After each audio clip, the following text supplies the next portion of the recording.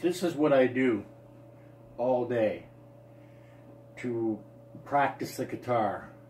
I have a program here that allows you to run through. You can set as many times as you want. Uh, you can set the speed. You can do anything. It has millions of songs on it. So watch this.